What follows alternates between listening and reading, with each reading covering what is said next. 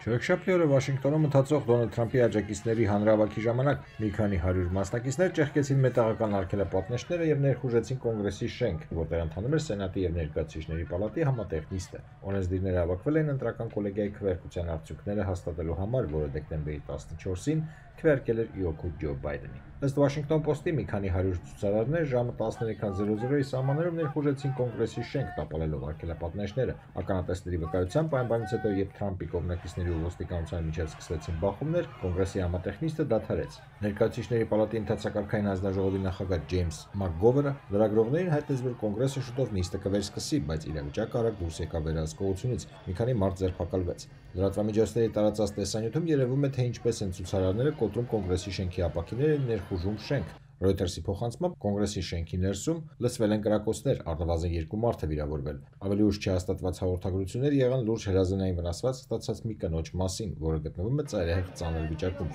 Փոխնախագահ Մայք Փենսը, Սենատի մեծամասնության ղեկավար Միչ Մաքոնելը եւ մի քանի այլ օրենսդիրներ անմիջապես տարհանվել են շենքից։ Ականատեսների վկայությամբ ցուցարարները ներխուժելով կոնգրես հնչեցնում են Թրամփի սատարող կարգախոսներ ու ծածանում ամերիկյան դրոշներ։ Հայտնի է, որ բախումների ժամանակ կոնգրեսի շենքում ոստիկանությունը կիրառեց արդյունքաբեր գազ։ Իրավապ Պահպանները առաջարկել են ներկայացուցիչների պալատի դահլիճում գտնվող կոնգրեսականներին հագնել գազի դիմակներ։ Ոստիկանությանը հաջողվեց դուրս բերել ցուցարարներին նաև սենատի նիստերի դահլիճից։ Նախագահ Դոնալդ Թրամփը Twitter-ով դիմել է իր աջակիցներին, խնդրելով նրանց լինել խաղաղ եւ չբախվել իրավապահների հետ։ Այնուհետև նա հանդես եկել իր կողմնակիցներին ուղղված կարճատև տեսաուղերձով, ու կրկին շեշտել է, որ ընտրությունները կեղծված են եւ գողացված իրենից եւ իր աջակիցներից, նա սակայն ընդգծել է, որ այս դժվարին պահին անհրաժեշտ է խաղաղություն եւ կոչ արել իր կողմնակիցներին վերադառնալ տուն։ Սպիտակ տան մամլոխոսնակ Քեյլի Մաքքենանը Twitter-ում գրառում է կատարել այն մասին, որ նախագահը հանձնարարել է ազգային գվարդիային եւ այլ դաշնային իրավապահ մարմիններին օգնել կոնգրեսի ոստիկանությանը կարգուկանոն հաստատելու հարցում։ Տեսաուղերձով հանդես եկել նաև նորընտիր նախագահ Ջո Բայդենը, ով տեղի ունեցածը որակել է հարցակում ամերիկյան ժողովրդավարության դեմ,